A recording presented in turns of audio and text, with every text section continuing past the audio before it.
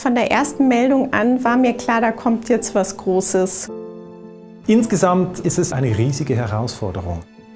Corona braucht viel Raum, viel Luft.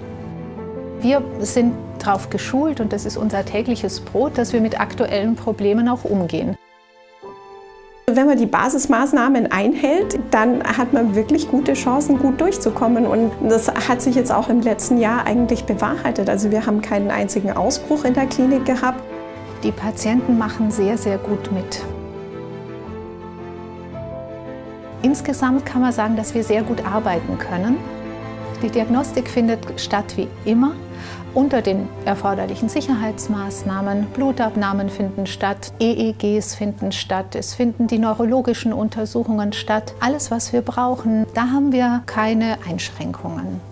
Es gibt keine Unterschiede in den Kontakten zu den Ärzten, jetzt abgesehen von den Sicherheitsmaßnahmen. Äh, das ist nicht weniger als sonst. Man wird gut behandelt, die Psychotherapie findet statt.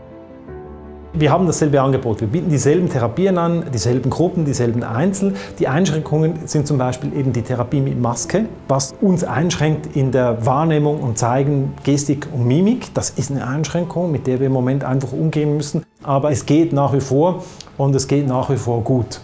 Wir sind ein psychiatrisches Krankenhaus und da ist natürlich der soziale Kontakt wichtig.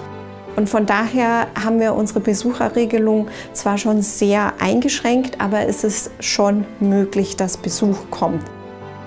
Was wir natürlich teilweise auch immer wieder machen und anbieten, sind einzelne Sitzungen über Videotherapie. Wie ist es Ihnen ergangen seit der letzten Sitzung? Wo wir ein bisschen eingeschränkt sind, ist beim Sport.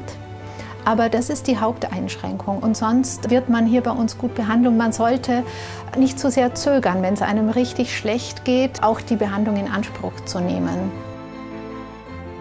Dafür gibt es uns, weil das einfach individuell ist es ganz verschieden, aber sehr schnell auch an eine Grenze stößt von dem, was ich einfach selber machen kann. Ja, wir versuchen uns selber gut zu motivieren und versuchen, dass das überschwappt. In guten und in schlechten Zeiten kann nie schaden.